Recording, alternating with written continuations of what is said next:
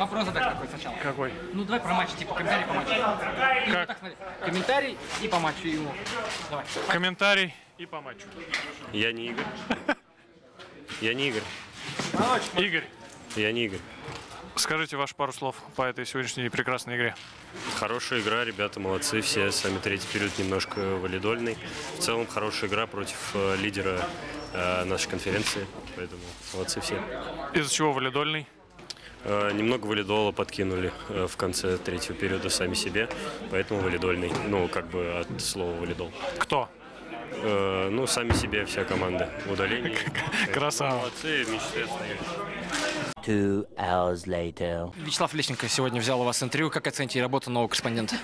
Э, Я не понял, почему он меня Игорем назвал, конечно, хотя я не Игорь.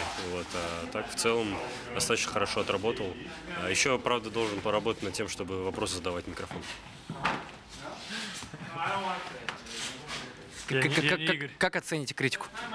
Да все хорошо, все, мы с ним на одной волне. Какая? FM какой-то? Да.